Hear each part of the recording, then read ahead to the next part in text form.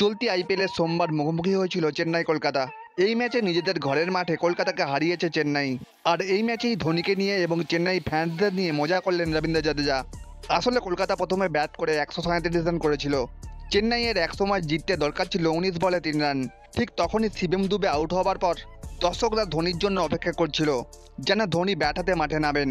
আর আমরা সবাই জানি ধোনি যখন ব্যাট হাতে মাঠে নামেন, দর্শকরা কি প্রবল জোরে চিৎকার করেন। সেদিনও ম্যাচের শেষ মুহূর্তে ব্যাট হাতে মাঠে নামার কথা ছিল ধোনির। কিন্তু জাদেজা ইয়ার্কি করে ব্যাট হাতে ধোনির আগে নেমে পড়ে? যদিও জাদেজা আবার ফিরে আসেন এবং তারপরেই ব্যাট হাতে নামেন ধোনি। ধোনি জাদেজার এই মজা করার ভিডিওটি বেশ ভাইরাল হয়েছে সোশ্যাল মিডিয়ায়